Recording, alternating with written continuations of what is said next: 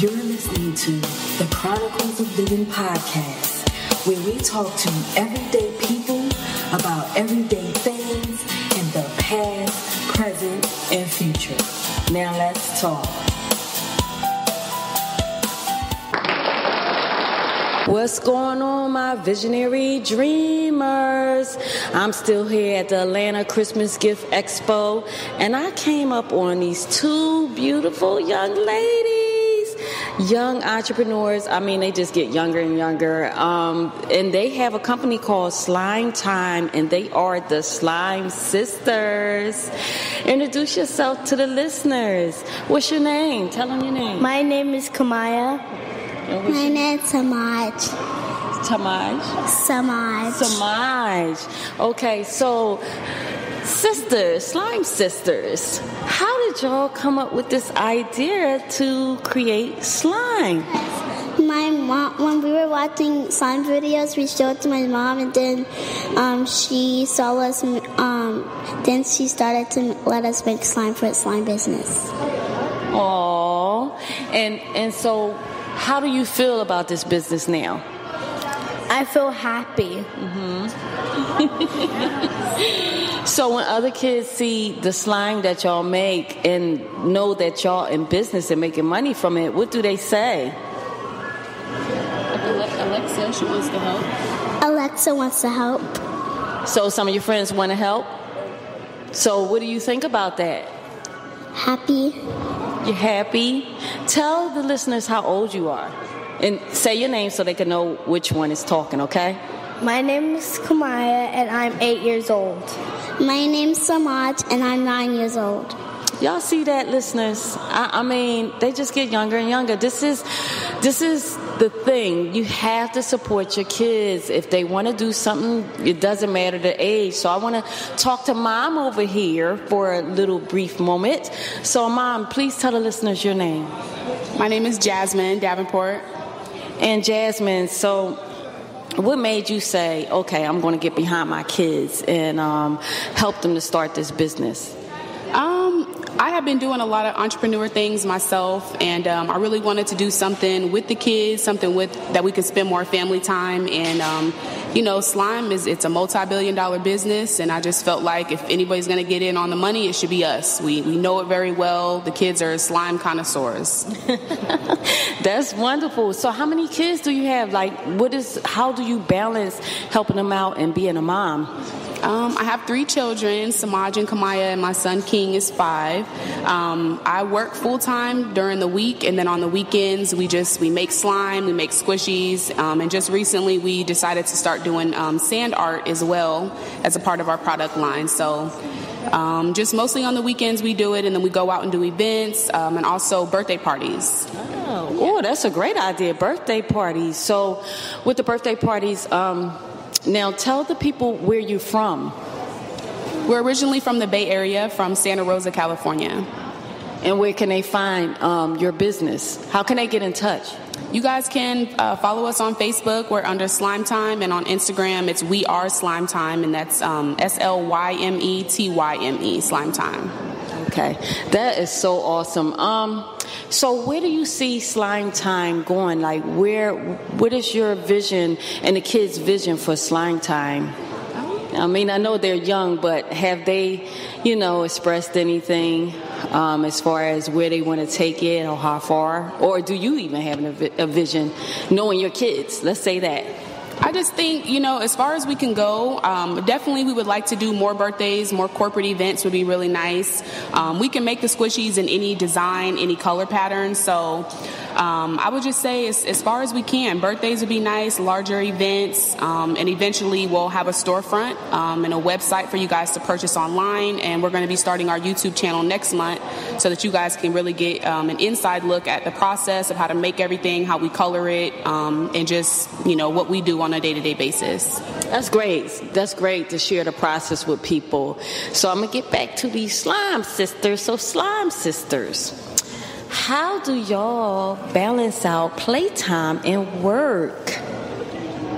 Making this slime, is it is it hard for y'all to balance it out? No, it's fun and so like when when I was like um six years old, I used I um used to watch slime um videos like all the time, and then I asked my mom if we can make like slime and stuff, and she said yeah and stuff.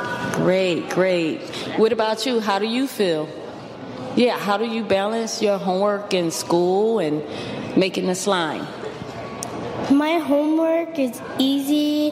Um, I need help with some parts, and the slime, it's kind of hard because um, some like some things that make the slime it doesn't work and so we have to use different products for it okay so and then when when that happens is that frustrating to y'all when it's not working out the way you want to? Like when we like mix the slime it makes our arms tired so that means that these ladies are putting in hard work, guys. This is not an easy business. They're putting in hard work, they're putting their love, and they're having fun with their business. So, is it anything that y'all would like to say to other kids that might want to get into business? Follow your dreams. Oh, what would you like to say? Have a good day. In other words, always appreciate your days and be happy, right? Be happy all the time. So I want to thank you, Slime Sisters, for coming on the show. Thank you, Mom, for having them. Is there anything that you would like to say to parents um, as far as, you know, if their kids have any type of dreams or visions? Definitely. Um just find something that you can incorporate the kids. You know, um, as a single mother, finding time to, to spend with your family um, is kind of hard. So if you can incorporate something that can also help financially and something that you guys can do that you all enjoy, it really just helps the kids to want to interact more and it just makes for a smoother process. So definitely encourage your kids, ask them what their ideas are, talk to them, and just see what they're good at. And whatever it is, just, you know, relish on those talents and, and try to turn it into a business. Great, great. Well said. Thank you guys for coming on to the show. We really, really appreciate y'all, okay? I really hope that y'all enjoy each and every one of those interviews. And it seems that the theme of conference was family. You know, family coming together to help out each other's dreams and visions. And, you know, we don't get a lot of that these days. You know, the first interviews with two sisters and a daughter. And then the second one was two lovely young ladies and the fact that their mother, you know, um, really decided to I'm not going to say sacrifice, but in some ways it can be a little bit of sacrifice, especially when you have to, you're a single mom taking care of three kids and you have to balance out everything.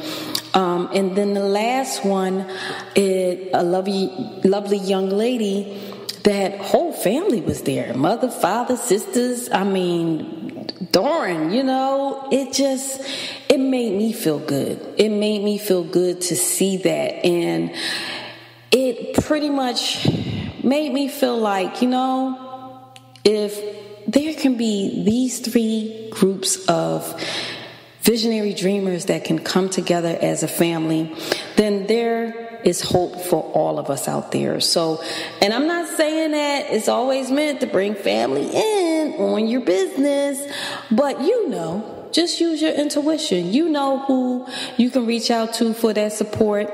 And always remember, like I said, you know, you have to surround yourselves as I think one, yeah, not think, I know one of the uh, conversations I had, we talked about that, surrounding yourself with like minded people.